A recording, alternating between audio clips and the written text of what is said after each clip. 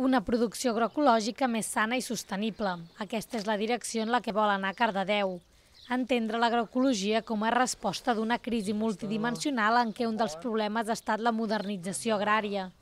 La conseqüència, la globalització de tota la cadena i el resultat, els aliments quilomètrics, és a dir, productes que fan un llarg viatge abans d'arribar al plat. Un sistema alimentari que, en definitiva, el que produeix és injustícia, perquè són unes poques multinacionals les que se'n beneficien i molts altres els que surten perdent en situacions de precarietat, i es caracteritza també per la seva eh, insostenibilitat molt, molt acusada un sistema alimentari global que a més no, no està eh, aconseguint acomplir el que representa que és el seu objectiu prioritari, que és alimentar la població eh, mundial d'una forma adequada. I en aquesta crisi profunda del sector agrari no paren de desaparèixer petites i mitjanes explotacions. L'esperança, però, hi és.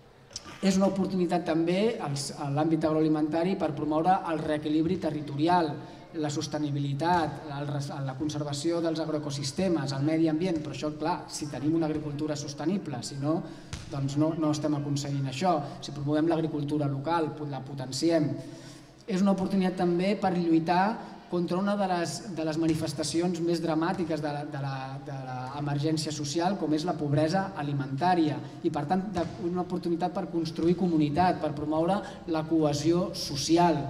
Algunes de les propostes presentades són la dinamització local agroecològica, com podria ser una fira de tas de productes locals, o bé la comercialització de circuits curts, com per exemple menjadors escolars ecològics. Així doncs, si reduïm els intermediaris, el preu s'abarateix.